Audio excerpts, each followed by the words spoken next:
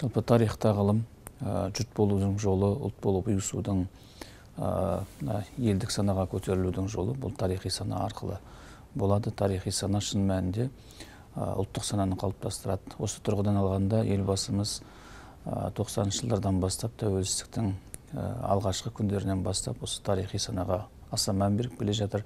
Жалпы қазақ хандығының құрылғанынан бастап алғашқы керей мен жәнібек ханнан бастап мынау кенесары қасымұлына дейінгі кезеңді қарастыруға үлкен мүмкіншілік береді ғой деп ойлаймын.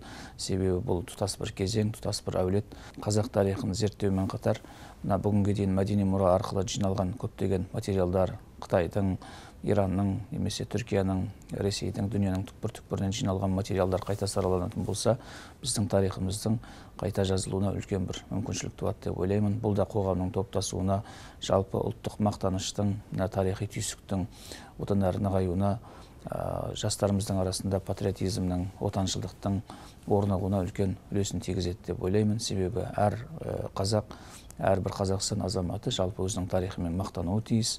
Ал біздің тарихымызға қарағанда қазіргі ұлт ретінде қалыптасуымыз оның тамырының тым тереңде екендігін көреміз. Сондықтан бұл атаулы датаның біз қоғамдық саяси мәні өте зор деп есептейміз.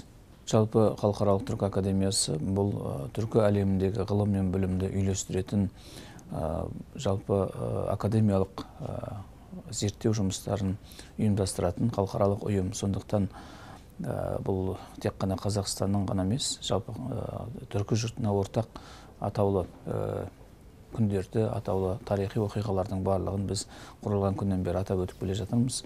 Бұл тұрғыдан алғанда қазақ хандығының бес жүз елу жылдығы да мына бүкіл түркі тарихы үшін өте үлкен бір кезең маңызды белес. Бұл кезең жалпы түркі әлеміндегі үлкен тектоникалық өзгерістердің болған алтын орданың ыдырап жатқан жалпы орталық азияда жаңа мемлекеттердің пайда болып жатқан кезеңі.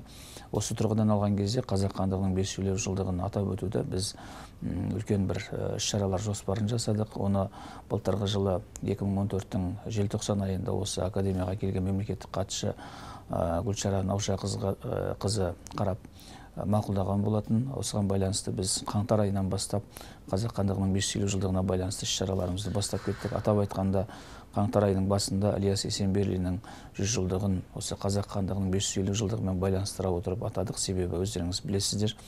Мына тоталитарлық кезеңде кеңестік сұрқай саясаттың тұсында біздің тарихымыз әсіресе алтын ордадан бастау алған үлкен кезең. Осы ілияс есенберлиннің трилогиясында көрініс тапқан болатын.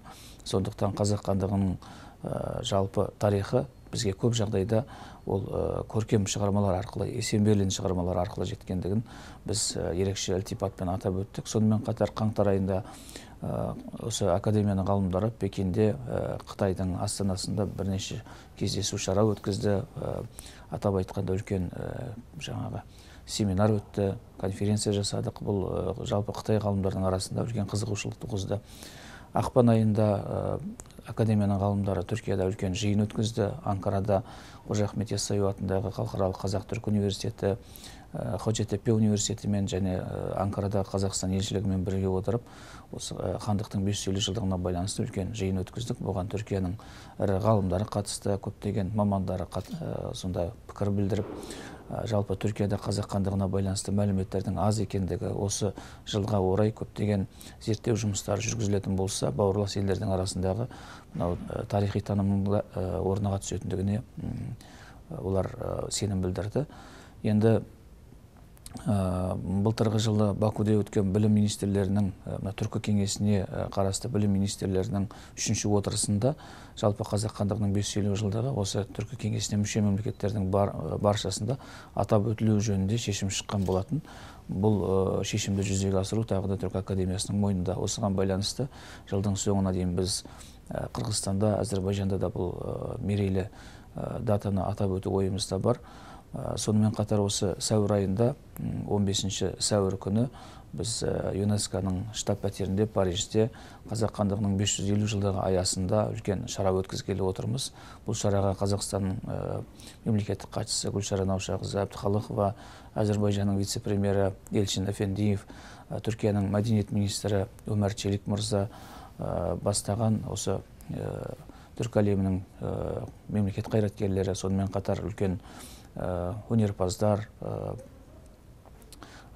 бірге юнеско-ның штаб пәтерінде үлкен айтулы шараны бірге атап өтетін болады біздің шараларымыз ол жыл бойы жалғасады. Бұл шаралардың аясында жалпы экспедициялар ұйымдастыру көрмелер ұйымдастыру жиындар өткізу дөңгелек үстелдер конференциялар өткізу және осы жылдың аясында тұлғалардың айталық мерейтойларын атап өту туралы көптеген жоспарларымыз бар. Сондықтан түркі академиясы биылғы жылды осы қазақ хандығының бес жүз елу жылдығына арнап отыр десек те болады. Айталық сүйінбай ақынның биыл екі жүз жылдығы. Біз оны да мысалға қазақ хандығының бес жүз елу жылдығының аясында атап өтуді ойлап отырмыз. Өйткені ол сүйінбай ақынды айталық бөрілі менің байрағым деп сол мына хандық құлап жатқан кезеңде хандық жаңа қазақ хандығының ақырғы сәтінде сол рухты сол ұранды қайта көтерген ақынның бірі. Сол сияқты өзге де үлкен ұлы тұлғаларды жалпы түркі дүниесінің көптеген қайраткерлерін атап өту барысында біздің қазақ хандығының бес жылдығында сөз болады ғой деп ойлаймын.